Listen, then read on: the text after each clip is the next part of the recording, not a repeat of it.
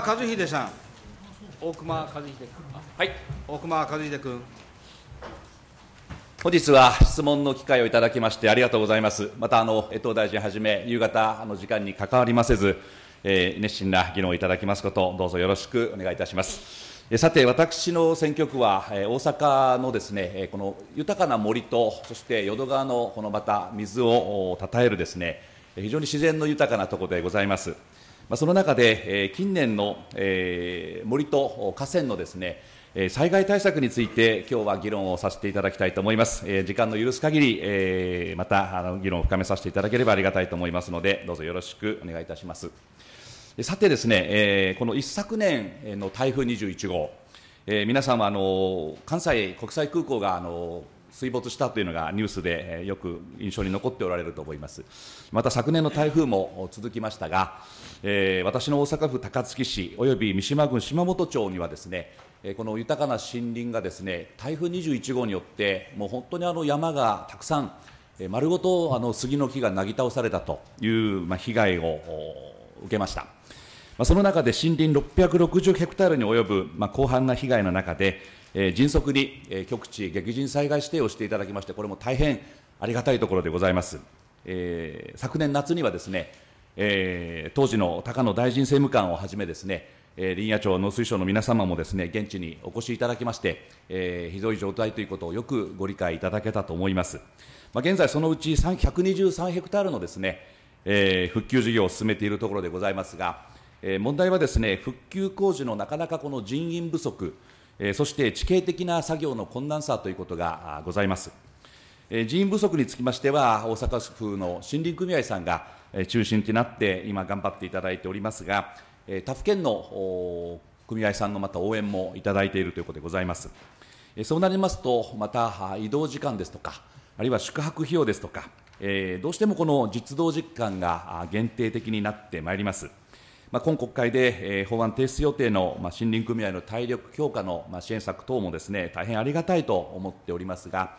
えー直面する人員不足と、この作業の地形ですね、えー安全性と効率をしっかりあの担保していく、まあ、そのためにもですね、えー例えば、まあ、先端的なあのこの、えー作業機器の配置がやっぱり必要不可欠だというふうに考えております。ま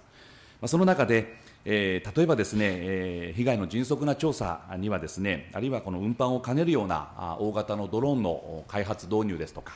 あるいはこの木材のま切断、配送、えー林道開拓などですね、一台でマルチな役割を持っております、えーハイブリッドモデルの導入などもですね、えー大きな効果が期待できると思っておりますが、なかなかですね、この優れた機械というものは、えーご承知の通り、えー高額なものでもございます。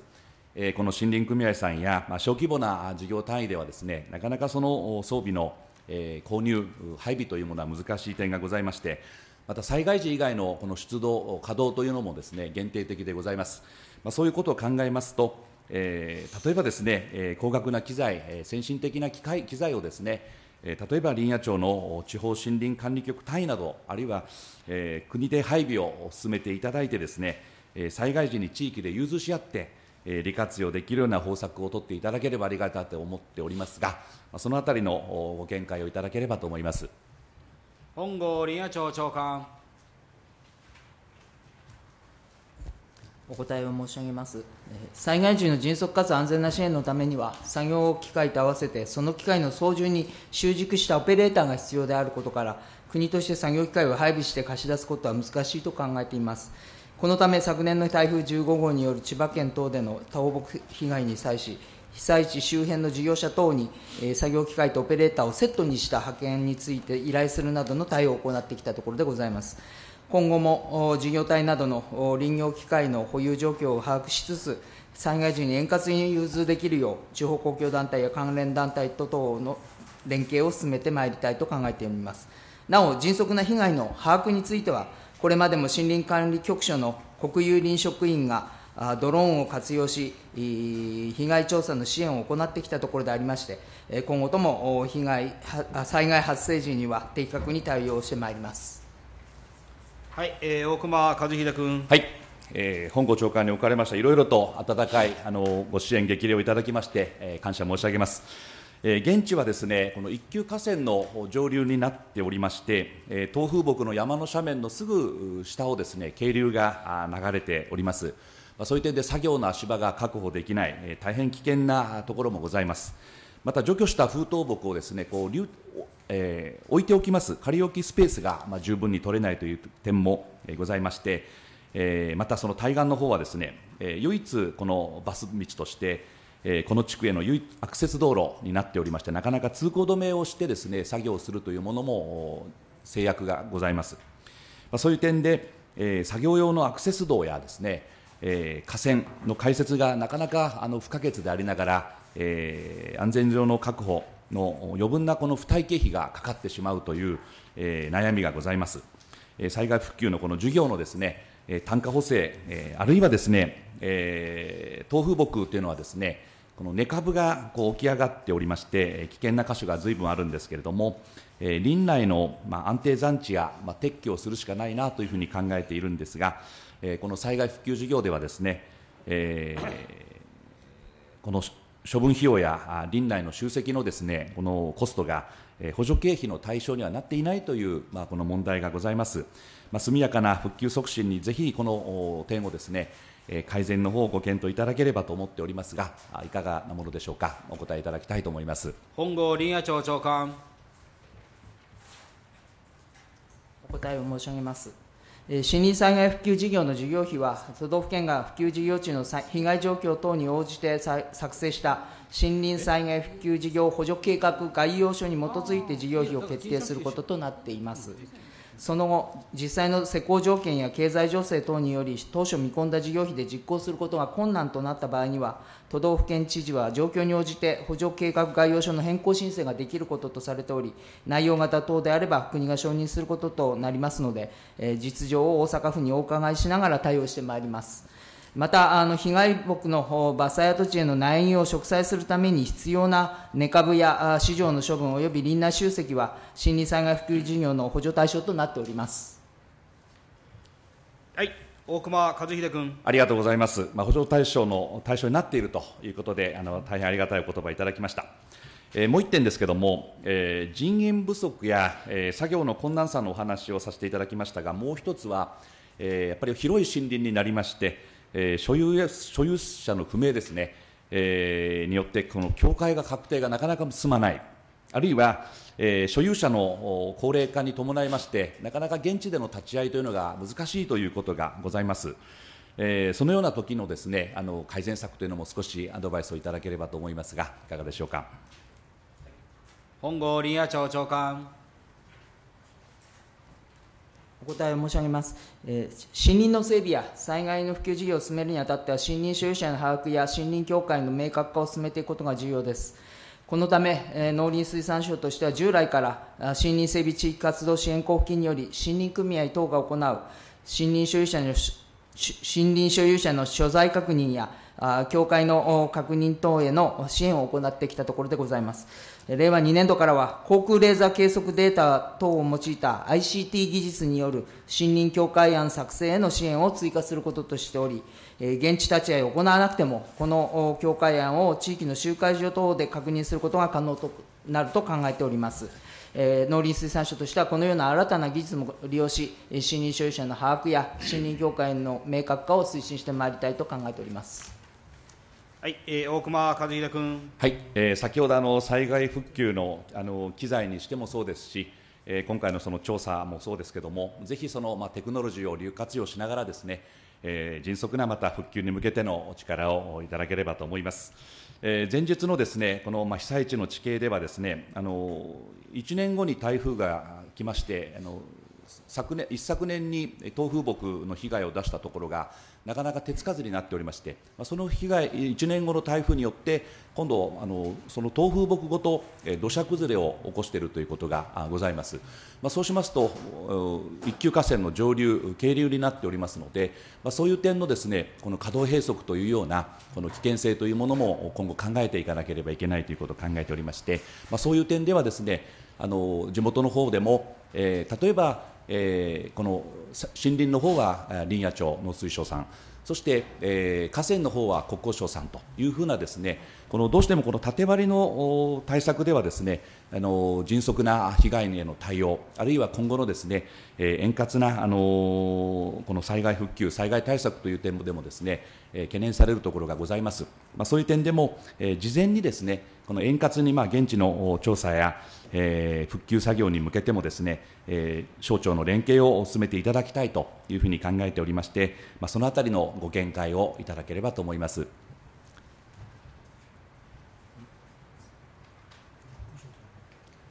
本郷林野庁長官えーお答えを申し上げます。えー農林水産省では、産地災害の防止など、森林の持つ公益的機能の発揮を目的として、えー河川の上流側などで地産施設の設置や森林の整備を実施しております。えーこのようなことから下流側で実施させされているう国交国土交通省の事業との連円滑な連携を図るため、国および地方レベルで毎年定期的に事業内容や実施時期等を調整しております。今後とも国土交通省や地元自治体と連携し、国民の安全安心の確保に向けて、えー効果的、効率的な災害対策の推進に努めてまいりたいと思います。はい大熊和秀君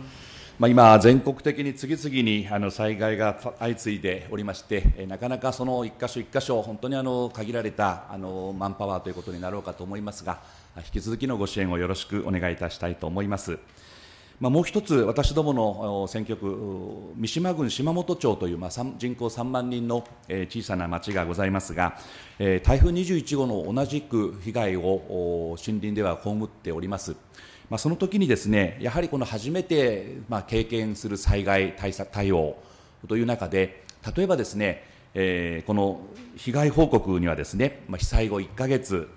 災害事業の復旧事業のまあ条件としてですね、1か月以内のまあ報告ということが、えー期限がございます。まあ、小さな自治体でありますと、マンパワーの問題、あるいはなかなかですね、現実として、まあ、右往左往対応にですね、苦慮する中で、えーその期限内の報告や、まあ、申請というものも物理的に難しい点もございまして、まあ、そういう点でも、えーこの事務作業という点でもですね、プッシュ型のご支援というものをいただければというふうに思っておりますが、そのあたりのご見解をいただければと思います。本郷林野庁長官お答えいたします。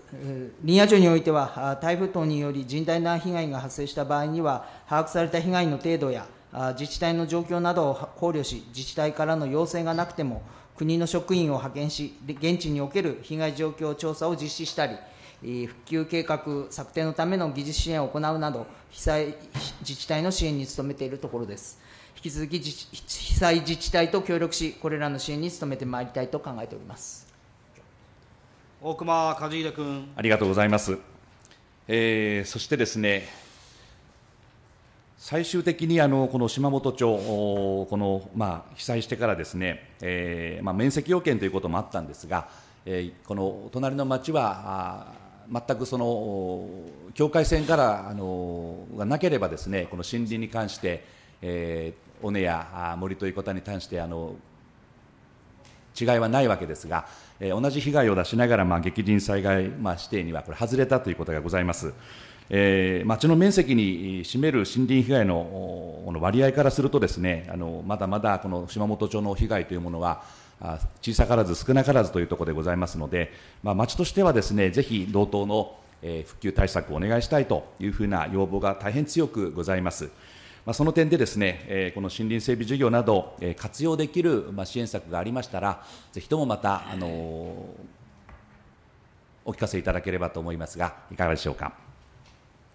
河野大臣政務官えー被災した森林の復旧にあたりましては、公益的機能の発揮を図る観点から、森林整備事業により、被害木の伐採、搬出とその後のえー植栽などに関して、国と都道府県合わせて7割約7割の支援を行っているところであります。また、森林環境贈与税については、森林整備及びその促進に関する費用に充てることができることとなっており、市町村の判断で森林の復旧に活用することも可能と考えております。引き続き、現場実態に即した被害森林の復旧が可能となるよう、必要な支援に努めてまいりたいと考えております。大熊和秀君、はいえー今、ま7割という形で、ま、大変大きなご支援をいただけると、あのまたそういうあのなかなかあの初めての災害というところで、えーまだまだあの知らないところということもございますが、まあ、そういう点でぜひまたプッシュ型のいろいろな、えご支援、アドバイスもいただければと思いますので、ありがとうございます。どうぞよろしくお願いいたします。さて、えーこの森林の次なる目標はやっぱ再生ということになってまいります。まあ、あの50年ぐらい大体あの地元の方が手塩にかけて育てた杉の木が、まあ、本当にあの驚くようにえーなぎ倒されているのは現地でございますが、えーやっぱ地元の方とすればですね、えー次にはですね、えーこのもうあの杉だけじゃなくて、えー桜やですね、まあ、広葉樹など転換していきたいなあるいは災害に強いですね多様なこの樹木を植えていきたいというようなご希望もございます。そして、えー森林という点ではですねやっぱりこれからも、えー市民に愛される、まあ、広く親しまれるですね、えー森としてやっぱりあの利活用していきたいということを考えますと、えー災害の中でまた期待もできるわけでございますが、やはりこの他方、森林の再生にはですねこの一朝一夕にはいかない膨大な時間を要すると思っております。まあ、激甚災害指定ですと、まあ、5か年ということになりますが、あぜひとも今後、えー末永いこのお日本の宝でもあります森林の再生に向けてですね、ご支援、ご指導の方いただきたいと思いますが、ご見解の方いただきたいと思います。河野大臣政務官。森林災害復旧事業の事業期間に関しましては、被災森林の早期復旧を図る観点から、激甚災害に対処するための特別の財政援助等に関する法律施行令によりまして、災害発生年度およびこれに続く4か年以内、4か年度以内と定められておるところでございます。委員、えーご承知のとおり、5か年以内というふうになっております。これは、えー一般の災害復旧事業の期間が、災害発生年度およびこれに続く2か年度以内となっている中で、こちらは通常の場合であればまあ3か年度以内になるわけでありますけれども、森林施業の季節性などを勘案いたしまして、これらの事業より長い期間の設定となっておりますことから、さらなる延長は現時点では難しいというふうに考えてございます。しかしながら、え先ほどご答弁申し上げました、森林災害復旧事業の実施後に、国と県で約7割の支援を行うことができます森林整備事業によりまして、被害木の伐採、搬出及び植栽などを実施することを可能としておりまして、復旧に長期間を要する場合などは、両事業により適切に復旧を図ってまいりたいと考えております。はい。大熊和秀君。ご答弁ありがとうございます。あのとにかくあのやはり私どもの、えー地元にとってもまた大阪府の中でもですねこの一二を争う豊かな森林でございます、まあ、しっかりと再生してまたあの町の方にも愛していただけるまたあの大臣あの政務官にもあのお越しいただけるようなですね豊かな森をしっかりと再生していきたいと思いますので今後ともどうぞよろしくお願いいたします。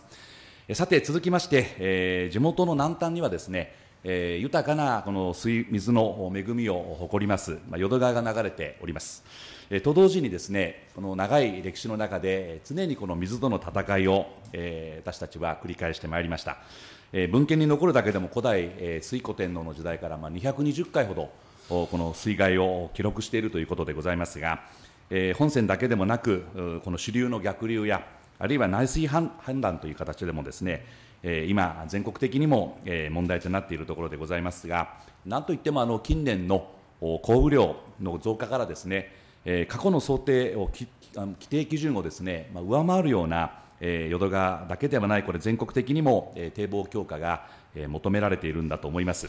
まあ、私もあのありがたいことに初当選以来、えーこの治水と防災・減災対策をですね最重要課題の一つとして取り組まさせていただいておりますが、えーこの地元、高槻島本地区の、えー堤防事業強化事業はですね、えー大阪の他の地域と比べてもですね、まあ、十分に実施されてきたとは言い難い面もございます。まあ、現在の目指すこの、まあ、当地のですね、えー淀川河川整備事業の目指すところをですねぜひ教えていただければと思います。塩見水管理国土保全局次長。お答えをいたします。淀川の水系におきましては、河川整備計画に基づきまして、計画的に事業を進めておりまして、このうちご指摘の堤防強化対策につきましては、淀川の本線を中心に進めてございます。えー堤防の川側に原付盛り土を行います浸透対策でありますとか、堤防の同じく川側にコンクリートの護岸等を設けます浸食対策などを行ってございます。淀川の本線、合計で17キロ程度の対策が必要でございますけれども、このうち高槻市内におきましては、約4キロの区間が対策が必要と位置づけてございます。島本町内におきましては、点検を行いました結果、対策が必要な区間はないということでございます。高槻市内におきましては、この10年間で、大阪市に次いで2番目に多い、工事費でこれまで対策を進めてきておりまして、えー今年度もお萬田、大塚、柱本の各地区で、えー堤防強化対策を着実に進めているところでございます。えー来年度中には高槻市内のすべての必要区間で対策が完了いたしますように、これから事業を加速させていただきたいと考えてございます。はい、大熊和秀君。ありがとうございます。まあ、確かに地元の方もですね、あの最近変わってきたな、力入れてもらってるなっていうのはですね、実感として、あのよく言っていただけます。もう本当にその点ではありがたいと思っておりまして、引き続きの、えーまた、あのこの堤防補強工事についてご指導いただきたいと思います。えー全国、まあ、そういう点ではですね、この昨年の東日本中心の大きな河川の果てもありました。えー全国共通の課題でございまして、まあ、どの地域も待ったなしだと思います。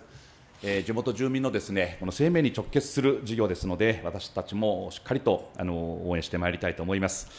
えーさて、この本線のですね淀川本線も、えー主流もですね、えー例えば私どもでしたら芥川、えー日与川、如瀬川、水瀬川というのがあるわけですけれども、えー樹木の繁茂や、えー土砂のえ堆積がかなり進んできております。えー堤防強化も必要ですが、なんといってもこの春節や、えー樹木伐採もですね、えーかなりの効果が、治水効果認め、えー期待できると思います。まあ、そういう点で、えー昨年の実えー災害も踏まえてですね、えー今回の国土強靭化予算というものがつけていただきましたが、えー今後継続したあ春節事業などに対して、えーしっかりと対応すべきだというふうに考えておりますが、いかがでしょうか？塩見水管理国道保全局次長。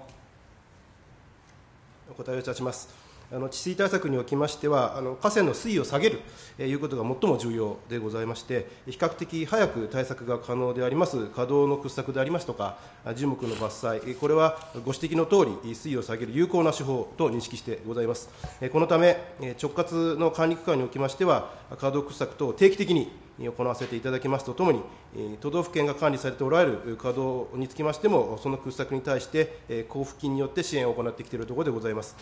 えー平成30年度から令和2年度までの3か年間は、えーご指摘の防災・減災、国土強靭化のための緊急3か年の対策といたしまして、えー稼働の掘削、樹木の伐採に対して重点的に取り組んでいるところでございます。えーご指摘の淀川本線では、えー今年度予算におきまして、高槻市内の区間で稼働掘削を行うこととしてございます。また、あの芥川、日川などの府が管理されておられる河川につきましても、支援の対象にしているところでございます。えーご指摘のあの緊急3か年後につきましても、えー必要な予算をしっかり確保いたしまして、えーまたあ総務省さんが来年えー創設されるご予定のえー緊急春節推進事業の活用を促進することなどによりまして、えー引き続き堆積した土砂の掘削等をお推進してまいりたいと考えてございます。はい、大熊和秀君。ありがとうございます。まあ、あの土砂が堆積して春積が春節が必要なところがある一方で、えー川のまた水流でえぐれてしまってですね非常に深いところもあって昨年などはですね、えーお孫さんを連れた、えーおじいさんとそのお孫さんたちがですね命を落とすという、まあ、大変痛ましいあの事故もございました。なんといってもですねこの自然に親しむということが今あの子どもたちにも求められている中であの安全なあの環境を作るということも、えー防災・減災対策と並行して、えお願いしたいと思いまして、またそういう点での整備も引き続きお願いをしたいと思います。えその一方で、え河川敷をですね、え優れた、えサイクルロードとして活用する、まあ、先ほども申し上げましたように、防災・減災だけじゃなくて、例えば健康対策にも資すりますし、それから今、肺炎の問題で、え、ずいぶん減ってはおりますが、えインバウンドにもですねやはりこの、えーいわゆる大きな観光地だけじゃなくて、体験型のですね、えま、自転車、ヨーロッパも盛んですし、サイクルロードとしてですねこう遊んでいただくということも、え非常にいいのではなかろうかというふうに思っております。ただですね、えなかなかですねこの、まあ、侵入禁止といいますか、えー柵がですね、え一定区間あの常にありまして、いちいちその時自転車を降りなきゃいけないというのがですね私どもの地元の河川敷の悩みでございます。その一方では淀川の今度琵琶湖の方に行きますとナショナルサイクルロードとしてですね認めていただいた本当に素晴らしいあの自転車道があるわけですけどもそういう点でですねさらにこの動きを広げていっていただきたい。私どももこの淀川をですね左岸右岸と一周するような利活用を図っていきたいと思っておりまして、えなかなかその自転車柵が動かせないという問題もございますが、そのあたりのご見解をいただきたいと思いますが、いかがでしょうか？塩見水管理国土保全局次長お答えをいたします。あの先生ご指摘のとおり、河川の空間を市民の方々にご利用いただくということは、河川の持つ本来の機能を発揮させると同時に、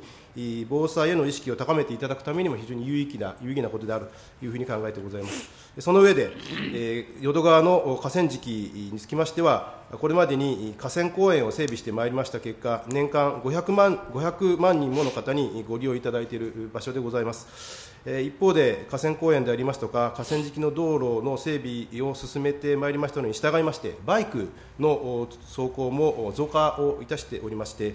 その結果、公園を利用される方々、あるいは沿線の住民の方々から多くの苦情が寄せられ、またあの死亡事故も発生するようになってしまいました。このため、平成18年に淀川本線のほぼすべての区間を対象にいたしまして、河川敷の道路や堤防上の通路の部分などの区域を自動車、あるいはバイク等の乗り入れの禁止区域にさせていただきまして、車止めを設置し、これによりまして、歩行者や自転車の通行の安全を確保してまいったところでございます。えこうした中、近年になりまして、河川敷道路を利用されるサイクリストの方、先生ご指摘のとおり、増加をしてございます。また、あの子ども用の椅子のついた自転車でありますとか、電動用の自転車といったような、まあ、少しサイズの大きい自転車を利用される方が増加をしておりまして、まあ、こうした方々から車止めを通過しやすい形に改良してほしい、まあ、こういうご要望もたくさんいただいているところでございます。えーこうした状況を踏まえまして、国土交通省としましては、まあ引き続きバイクは通れないということにいたしますけれども、さまざまな自転車にとって通行しやすい車止めえーへの更新を進めてまいりたいと考えてございまして、えー利用頻度の高く、かつ老朽化が進んでいる箇所から順番に進めているところでございます。引き続き更新を進めてまいりたいと考えてございます。はい大熊和秀君はい、ありがとうございます。あのまあ、通行止めというのが確かにこれ地元のやっぱりあの最初希望がございまして、えーそういういきさつがございますが、あのやっぱり静かで、えーそして健康的、そしてあのまあ排気ガスも出さない、えーこの自転車にとってはですね、あのまたあのいい利活用の場にもなると思いますし、えーそういう点ではいろんな可能性が広がってくると思いますので、ぜひとも前向きにご対応いただきたいというふうに思っております。えー最後の質問にえーなります。えーこの淀川というですね、この貴重な河川空間をえー利用して、えーこの自転車のみならずですね、えーグランドゴルフですとか、まあ、最近あの、まあ、ご年配の方の健康づくりですね、えー大変流行っております。えーグランドゴルフ場や、あるいはバーベキュー場なんかもですね、え利活用していきたいと思います。もちろんあの先ほど申し上げましたように、まあ、地域の方のご理解というものが大前提になるわけですけれども、えーそういう点ではですね、えこの災害防災防災減災対策と並行してですね、ぜひこのまあ国民の健康づくり、えーの意味合いからもですね、えー進めていく、あるいはあの災害時になんかですね、えー国道や高速道路がまあ通行止めになるという時にもですね、これはあのバイパスとしてこの河川敷の道路というものもですね、交通というもの、あるいは水温もそうですけども、あの活用避難緊急時にはできるものでございます。まあそういう多くな可能性を含めた、えーこの河川の、えー水のこの道ですね、ぜひともあの利活用を進めていきたいと思いますが、まあ、その点についてのご見解をいただきたいと思います。塩見水管理国道保全局次長お答えいたします。先ほどご答弁申し上げましたとおり、その河川空間を市民の方に有効にご利用いただくということは、これはあの河川の空間をまあ本来的な機能のように活用するという点と同時に、防災への意識を高めていただくという観点から非常に有意義なことであると考えてございます。また先生ご指摘のとおり、河川の中に作られております、